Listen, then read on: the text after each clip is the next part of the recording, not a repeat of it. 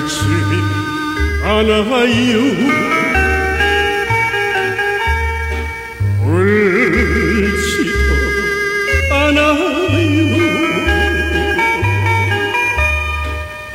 당신이 먼저 가버리기 나 혼자 외로워지며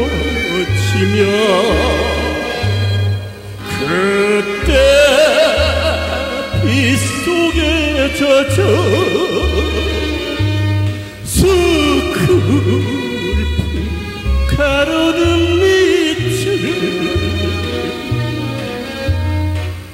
돌아서며 나 몰래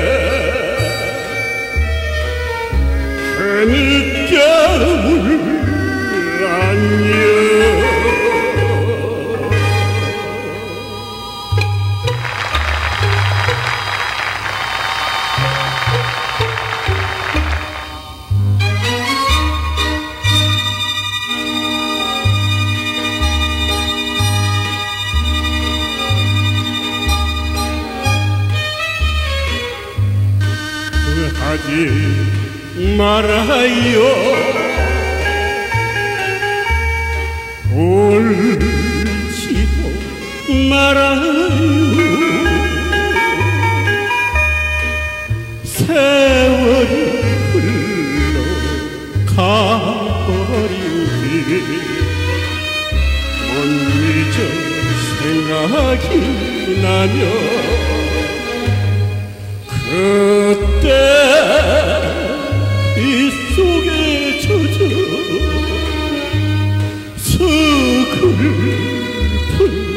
가로등 밑을